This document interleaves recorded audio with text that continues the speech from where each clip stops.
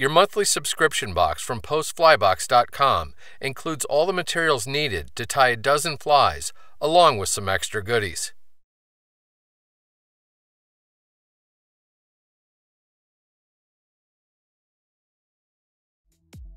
The Tactical UV Nymph is an excellent small pattern that doesn't specifically represent any trout food source in particular, but many in general. Start by placing one of the small black beads onto one of the curved, short-shanked nymph hooks. Then, get the assembly firmly secured in the jaws of your tying vise. Solder wire is used to add weight and to help stabilize the bead. Get hold of the bitter end in the fingertips of your left hand as you take wraps around the hook shank with your right. Five or six turns should be plenty. Helicopter the wire to break it off close. A drop of superglue, here fly tire Z-Ment, applied to the hook shank between the bead and the solder wire will lock everything in place once the wire wraps have been pushed forward into the back of the bead. The adhesive also allows you to tuck in the wire tail without everything simply spinning on the hook shank. Load a bobbin with a spool of black unithread. Get the thread started on the hook shank behind the wire wraps and after a few turns, snip the excess tag end off close. Take forward wraps over top of the wire all the way up to the bead, then back down to help further lock the wire in place.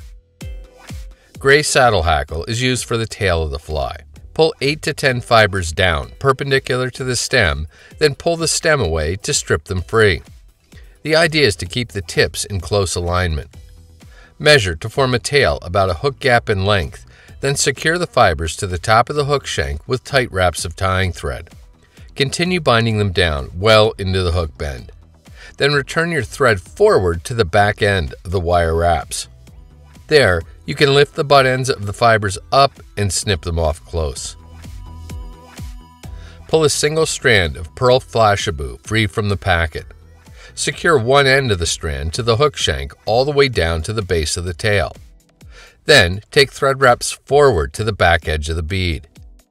Make slightly overlapping wraps with the flashabou to create a shimmery, slender body on the fly. When you reach your tying thread, use it to anchor the flashabou and snip the excess off close. Take a few more wraps to ensure the flashabou is well anchored.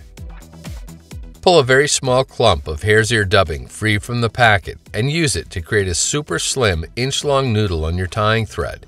Here, less is more. Start taking wraps with the noodle to build up a fuzzy little collar on the fly. Pick up your whip finish tool and do a 4 or 5 turn whip finish, seat the knot well, and snip your tying thread free. A drop of head cement applied to the wraps and whip finish will ensure nothing comes unraveled.